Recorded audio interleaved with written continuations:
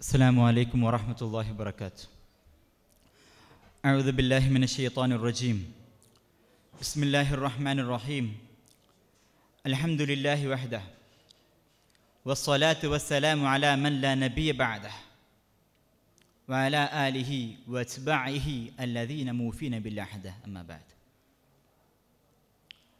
قال الله سبحانه وتعالى في محكم تنزيله يا أيها الذين آمنوا أطيعوا الله وأطيعوا الرسول وأولو الأمر منكم. فإن تنازعتم في شيء فردوه إلى الله ورسوله. صدق الله مولانا العظيم. وعن أبي ذر رضي الله عنه أنه قال قال رسول الله صلى الله عليه وسلم من فارق الجماعة شبرا فقد خلع ربقة الإسلام من عنقه. صدق رسول الله صلى الله عليه وسلم. ومن الملحوظ إن الدين عند الله الإسلام. فمما يزداد فينا عجبا ويكون فينا دهشا على أن الإسلام واحد والإله واحد والرسول لآخر الزمان واحد والكتاب واحد والسنة واحد فما التوجيه الظرفي باختلاف المذاهب. دعنا نمر إليها. شرح الله سبحانه وتعالى كل الأمور التي تتعلق بالمبعد والمعاد في كلامه. أي القرآن والذي يستفيض به الإنسان حضرا وصفرا أي في كل حله وترحاله. بأنه منزل على الحبيب صلى الله عليه وسلم عبر الآيات. فمن هنا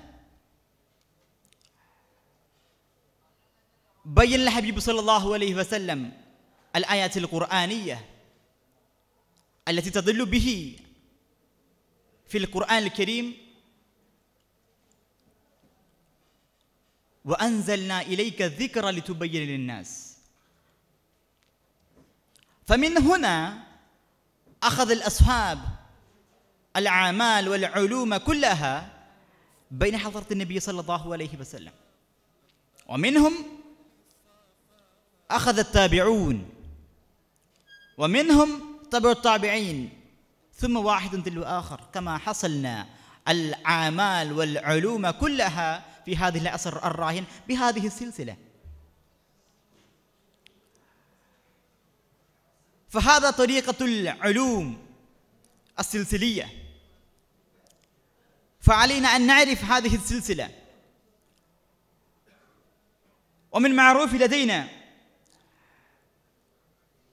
وهذا كلهم بتصديق الحديث النبي صلى الله عليه وسلم بأنه قال فليبلغ الشاهد الغائب أو كما قال الحبيب صلى الله عليه وسلم. فبينما هو كذلك. لا يمكن وليس في الإمكان على الإنسان أن يعرف معرفة الأحكام الآيات القرآنية محاضيا إلا على المجتهدين الفقهاء الذين باذلوا قصارى جهده في هذه الشأن وعلى ولا يجوز لنا أن نعرفها لأن الإنسان على عدم معرفة الأحاديث النبوية فبينما هو كذلك علينا أن نعرف. عندما بين الحبيب صلى الله عليه وسلم الأحكام الشرعية والعلوم كلها خاصة قصدا لتكون كل الأعمال والأحكام سهلة لأمته كما أعلن به سبحانه وتعالى في القرآن. والذين جاهدوا فينا لنهدينهم سبلنا. فاختلفت الآراء العلماء العلماء علماء في مسائل الفقهية الفروعية. حتى صارت المذاهب الأربع. وهذا سببها. فمنهم الأئمة الأربع. الإمام نعمان أبو حنيفة الكوفي رضي الله عنه والإمام مالك بن أنس رضي الله عنه والإمام محمد بن إدريس الشافعي رضي الله عنه والإمام أحمد بن حنبل رضي الله عنه. وكان شأنهم شأنهم الاجتهاد جمع القرآن والاستنباط الأحكام الدينية الشرعية من القرآن والسنة. حتى كرس نفسهم ونفيسه وركز نظرهم ونظيره إلى طلب العلم وأيضا وانقطع فيها انقطاعا تاما هدفا وقصدا لإقامة والانتشار والإثبات هذه الدين في أنحاء العالم. فعلينا أن نتبع بأحد المذاهب الأربع. وعلاوة عن ذلك حتما لا يجوز على الإنسان أن يأخذ بأخذ الرخصة من المسائل بين هذه المذاهب الأربع كما صرح به الأئمة في كتب كثير بأنه يقول تتبع رخصة. وأيضا لا يجوز لنا أن نأخذ غير هذه الأربع كما صرح به الأئمة لأنه يكون مخالف الإجماع حتى يؤدي إلى أبطال أعمالهم.